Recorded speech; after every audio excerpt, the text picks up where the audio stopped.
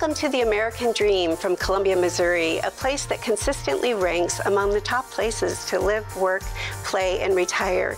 I'm Susan Reeves, I'm your host, and I'm excited to showcase the best of what this community has to offer you. Today we're in Bluff Creek Estates to tour a beautiful custom home and then we will go talk with Fire Captain Tommy Goran, a local homegrown hero. Let's go see this beautiful home.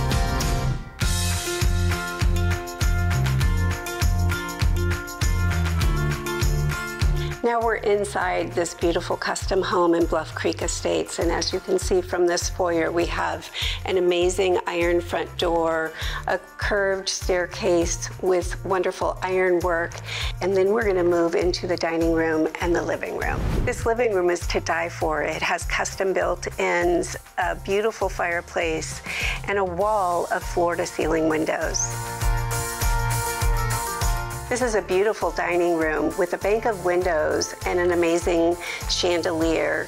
It's a wonderful place to entertain. The light in this family room is just spectacular from the transom windows to the windows flanking the fireplace and it is just off of the kitchen. So it is a wonderful place to hang out and be with family and friends.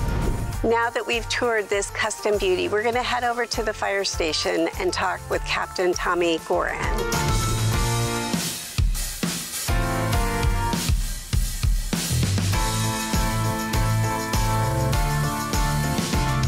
Everyone loves a homegrown hero.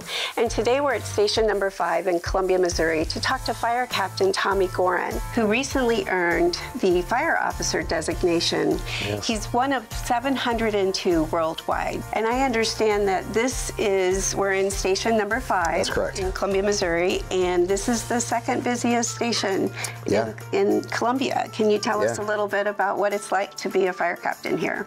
I absolutely love it. I was born and raised in Columbia.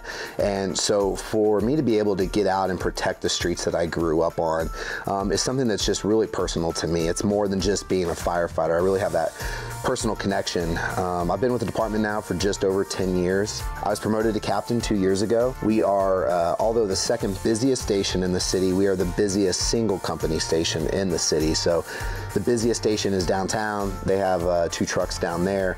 Then uh, the second busiest station in the city is us. We have one truck, and so um, we're constantly running calls morning, noon, and night. With our current schedule, the way we are is uh, 48.96. So we are two days on and then four days off. So two days time, we average anywhere from 18 to, to 22 calls in a 48 hour period. I'd say probably 75% of what we run actually are medical calls. Um, and that's something that a lot of people don't know. Um, the other 25% of the time, we're running vehicle accidents, um, house fires, obviously structure fires, we have a, a, hazmat team here at Columbia Fire. We have a technical rescue team. Um, we have an, an, arson dog. We have a bomb squad. So, um, you know, we're a pretty large city for the state. And so we have to have a lot of different resources uh, to, to be able to mitigate any issues that come up. So, Tommy, I've been wondering, would it be possible to go for a ride in the fire truck? Mm, I think we might be able to make that happen. That's awesome. This is Fire Officer, Fire Captain Tommy Goran. We're coming to you from Columbia, Missouri Missouri, and we're going to go take a ride. Thanks for joining us on the American Dream in Columbia, Missouri, a place that attracts so much attention as a top place to live, work, play, and retire. With people like Captain Tommy Goran and the beautiful home that we just saw today in Bluff Creek Estates. My name's Susan Reeves, and thank you for joining us. I'll catch you next time on the American Dream.